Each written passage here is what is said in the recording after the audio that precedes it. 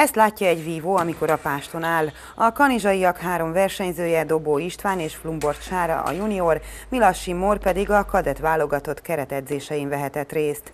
Piecs Adrien szakosztályvezető szerint az edzőtábor lényege az volt, hogy a szeptemberben kezdődő junior világkupára, valamint az Európa körversenyre felkészítsék a sportolókat. Ez az év is hasonlóan mozgalmas lesz, mint a tavalyi szezonunk volt. Mindjárt szeptemberben két nemzetközi versenyen indulnak a sportolóink.